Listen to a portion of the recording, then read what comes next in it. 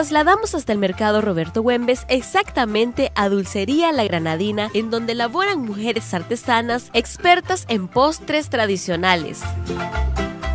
Estuvimos ahí para conocer cómo se elabora la sopa borracha.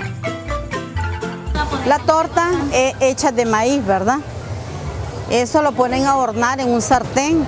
Luego que ya está hornada la torta, se pone a elaborarse la miel con azúcar, canela, clavo de olor y hojas de higo.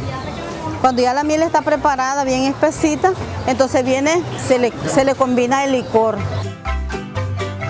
La sopa borracha es un postre delicioso por la combinación de dulce y licor.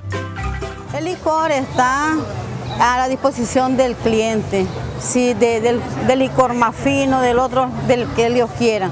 Una vez ya preparada la miel con el licor, entonces viene, se cortan los trozos, el de torta, entonces luego ya cortadas se hacen así los trozos para ponerse a 15 Córdoba el pedazo de, torta.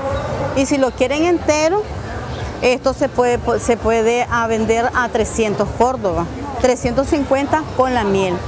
Y usted, como ustedes saben que esta es para la cena navideña, siempre la gente ocupa esto como postre después de la cena. Una receta tan fácil que se puede hacer en casa o bien comprarse hecha solo para degustarse.